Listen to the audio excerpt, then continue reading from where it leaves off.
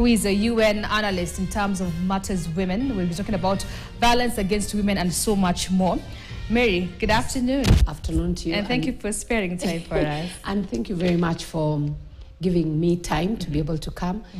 Uh, and me also includes the fact that you've given UN women and the women that we represent a time to be able to come to the studio Yes. and celebrate. Yes. So this Friday, as I said, we are celebrating International Women's Day, mm-hmm. and this the, this year's theme is investing in women. Mm-hmm. Perhaps if I could ask you, is there anything to celebrate? Mm, there's always something to celebrate mm-hmm. because one, we are alive and we are women and we've come from far. So we can't um, have a pity party and say, oh no, we are doing so badly. No, we must affirm ourselves. We must celebrate how far we've come. But then uh, stop a bit and look at the gaps and say, where would we have rather been? And uh, what then do we need to do to be able to go that far? But we must celebrate. There are things to celebrate. All right. The reason as to why I'm asking is because nowadays it's like it's a norm. Mm-hmm. Almost every day, a woman is being battered, and not just being battered, mercilessly at mm-hmm. that. Mm-hmm. Every day, there are cases of women being killed left, right, and center. It's like now it's a norm. It's a normal thing. Does that really? And we're talking about something that happened, I think, just a few days ago. Uh, there was a, a, a video that was making rounds on social media where, when a man was mercilessly beating a woman. Are we really supposed to even celebrate International Women's Day? Because what is there to celebrate? Um, well, the, as you say, there are certain events that have taken place that have really taken us backwards. They've really taken steps backward.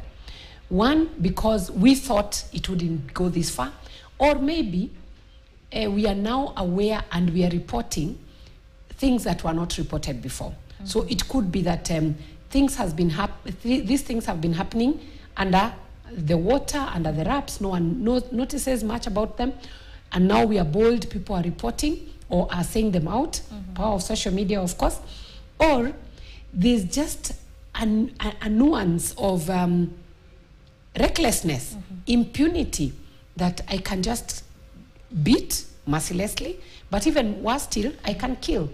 And noting how final death is, you know, mm-hmm. because once you kill someone, there cannot be another story. There cannot be that um, you know uh, you you did uh, this and that's why I've done this. And if there's anyone who is being punished, then once you die, even you you wouldn't even feel the regret. So it is such a final thing, and it's the worst of the violations that can happen.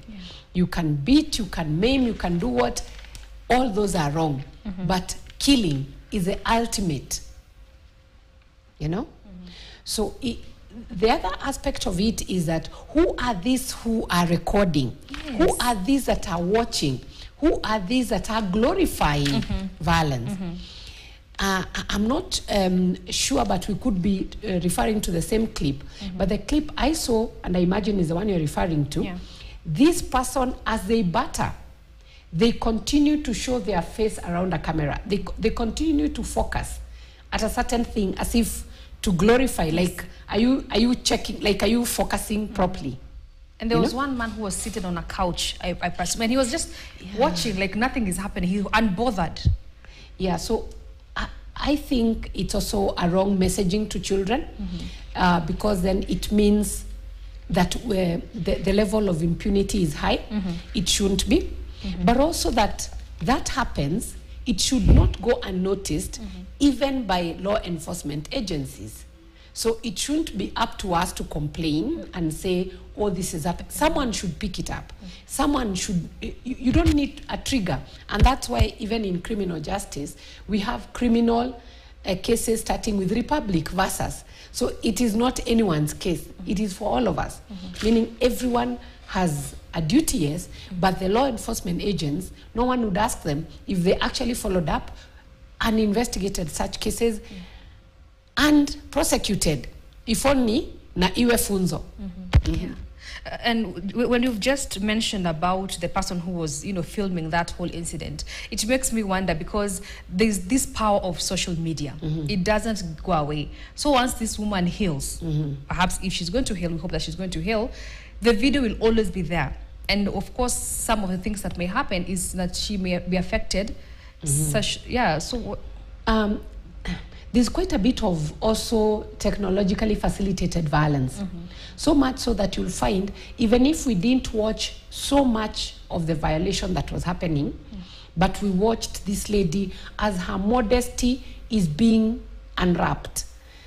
And in future, she has to watch herself in that state of indignif- indignifying a manner, then it really means that she gets battered once again.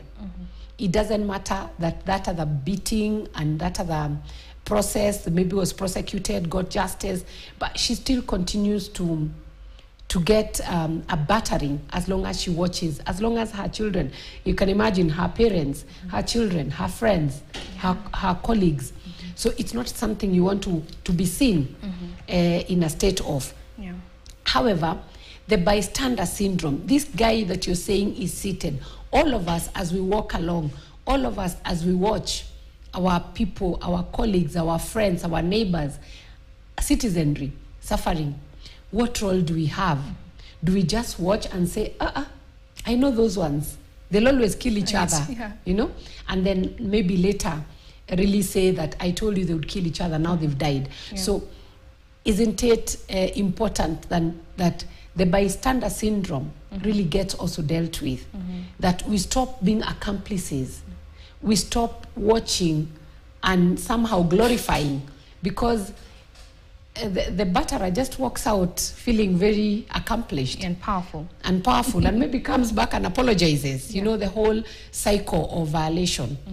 So those are the things that are putting us back as we want to celebrate international women's day. But it also means that um, we must we must have time to celebrate each other because we have we have survivors that have also survived. There are battles that have been fought. There are journeys that have been walked and that women have still made some strides big strides. Uh, we have women taking up leadership at uh, different echelons. Even new people in the media. We didn't have so many women carrying out very strong um, anchoring of either news or programs. We didn't have a lot of people in uh, heavy finance institutions.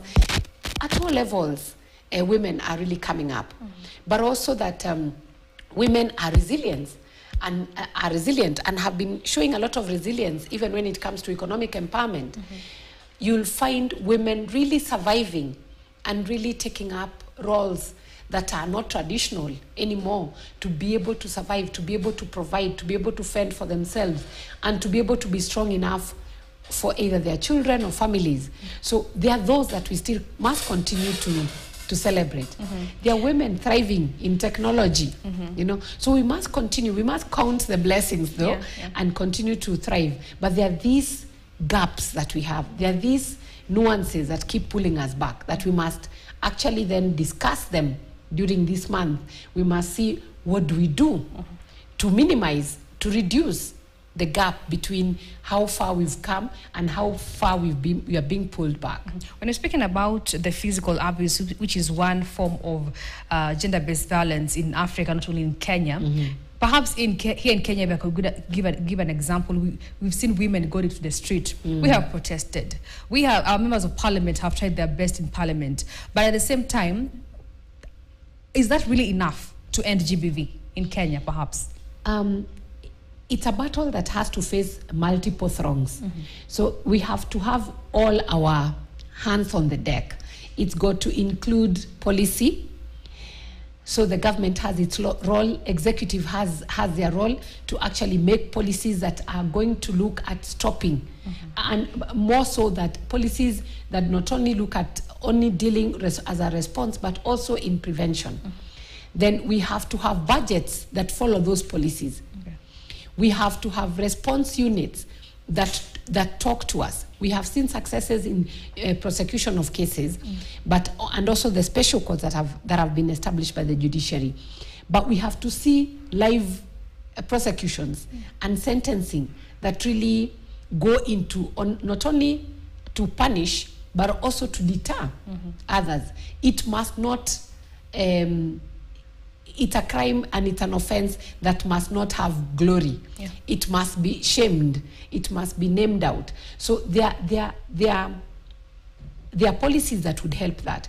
There are implementation of other uh, commitments that would help that. If someone, for example, has been abused, what do they do? There's got to be good, responsive, um, good responsive units that really look at her. What about psychosocial support? You've just said about this lady. What about psychosocial support? How does she stand up tomorrow? And then all of us just allowing space for someone to feel whole as a person, but also for someone to stand up and really walk again, you know? And even when we look at access to justice, and um, just the other day we were, we were talking with uh, some colleagues, and, and someone said, um, someone, a survivor was asked, Did you get justice? And she said, Yes, I got justice because I can now sleep without being abused. So you can imagine things that we take for granted. Yeah. You can say, Oh gosh, it's nine o'clock, I'm so sleepy, let me sleep. There's someone else who's wondering, The night has come, I'll, I might want to die go home. tonight. Yeah. You know, I don't want to go home. So really, it means that um, we, we must apply all, all, all efforts you know? Mm-hmm. If it's economic empowerment we've got to have the government really empower women. I know there are funds that have that have been established to to to to go out to women to go out to youth to go out to person with disability as an affirmative mm-hmm. action. Th- there's- they've got to be seen they've got to be monitored they've got to make sense that i mean they've got to really do what they're meant to do mm-hmm. to empower economically so that the vulnerabilities are reduced. Mm-hmm.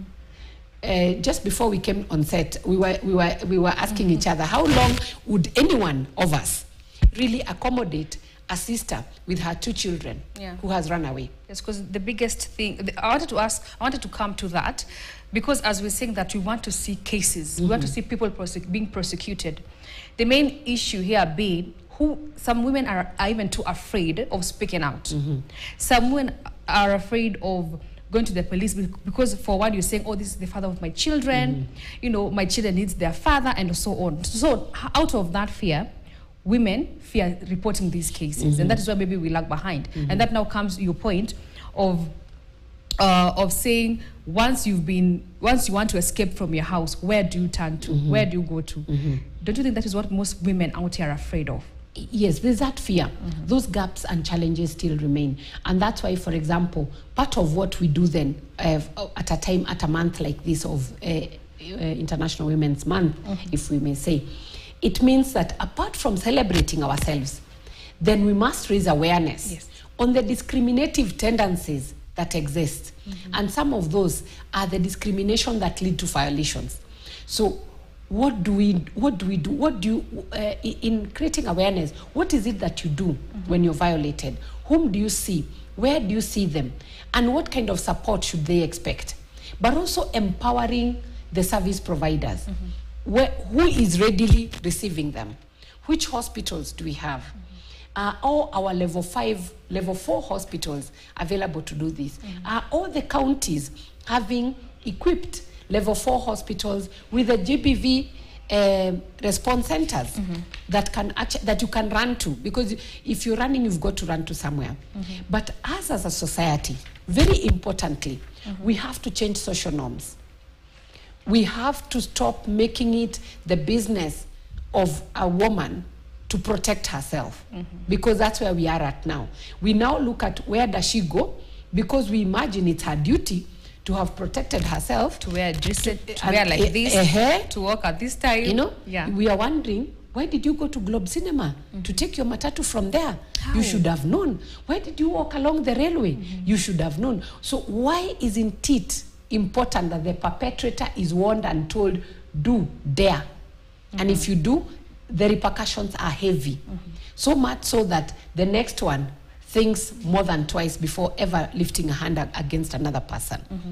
But being as it may, and that the fact that crime still happens, then when it doesn't get well prevented and it spills over to becoming a crime, mm-hmm. then that's where we look at how what's the support service for the person. Mm-hmm. But it's very important that as a society we look at our social norms.